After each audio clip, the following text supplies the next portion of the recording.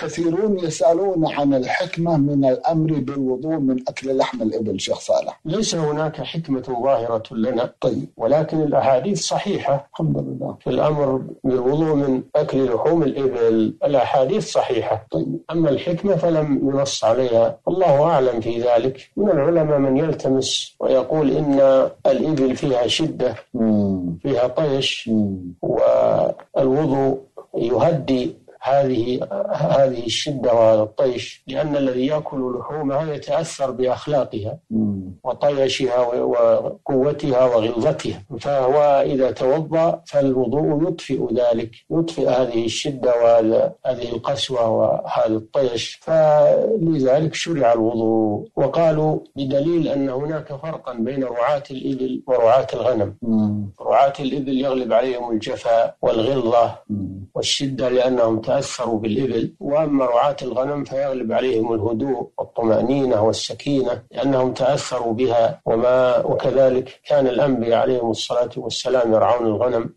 كما ذكر الله سبحانه وتعالى عن موسى عليه الصلاة والسلام. نعم نعم نعم. ونبينا محمد صلى الله عليه وسلم رعى الغنم. وقال ما من نبي إلا رعى الغنم. فهذا هو أساس الفرق والله أعلم والحكمة في الوضوء من لحوم الإبل وترك الوضوء من لحوم الأغنام. نعم.